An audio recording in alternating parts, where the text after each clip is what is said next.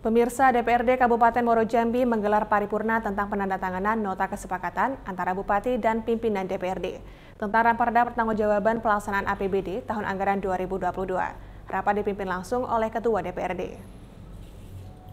Senin siang di ruang utama DPRD Muaro Jambi menggelar paripurna tentang penandatanganan nota kesepakatan antara Bupati dan pimpinan DPRD tentang rancangan peraturan daerah atau Ranperda Pertanggungjawaban Pelaksanaan Anggaran Pendapatan dan Belanja Daerah atau APBD tahun anggaran 2022.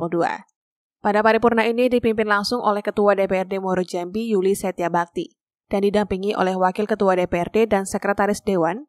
Selain itu dihadiri juga oleh seluruh anggota DPRD serta Sekretaris Daerah Budi Hartono dan juga seluruh kepala OPD di lingkup pemerintah Kabupaten Muaro Jambi.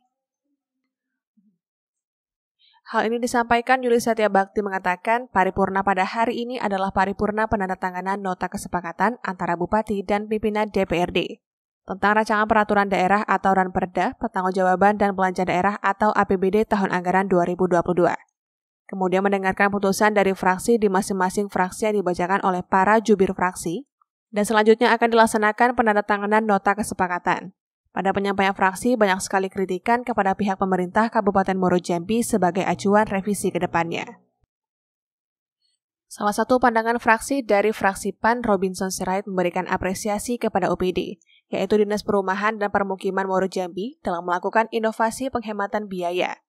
Telah melakukan pola baru sebagai inovasi yang sangat luar biasa dalam penghematan biaya LPJU yang sudah terbukti secara fakta yang mana sudah bisa melakukan pengurangan biaya atau penghematan biaya LPJU. Dari Kabupaten Muaro Jambi, Noval Hamzan, Baik TV Jambi, melaporkan.